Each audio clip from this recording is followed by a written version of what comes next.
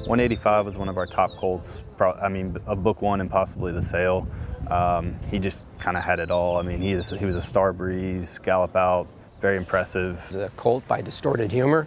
Obviously a, a, proven stallion, a stallion that's been around for a long time and has already created a Kentucky Derby winner and Funny Cides. At the Breeze show, horse went really fast and and uh, did it the right way. It, it's not just about the time that the horse works in, it's about how they move through the work, how they handle themselves pre-work, and how they finish up after the work. And this was a horse that, that really um, looked the part from start to finish and, and just had a beautiful way of going and sort of poetry in motion uh, with the right pedigree and then matched it up physically. You know, not only did he go fast, but he's got a two-turn body on him.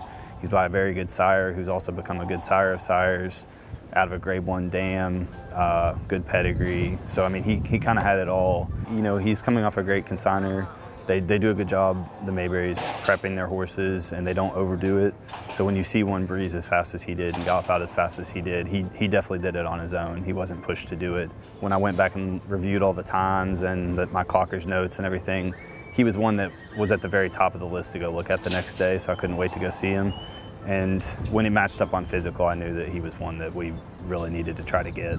Just a, a really handsome, good-looking, kind of uh, uh, dominating, sort of powerful type horse with uh, an incredible uh, pedigree, both on the top side and the bottom side. The, the mare's family is very strong. Uh, he's put together the right way, and he's a fast horse that looks like he wants to run all day. Uh, you're talking about a horse that's already proven he can get his offspring to the classics, and we can go to the big races, especially for these horses when they turn three, and, and you're talking about the Triple Crown, and this is the kind of horse that can get you there.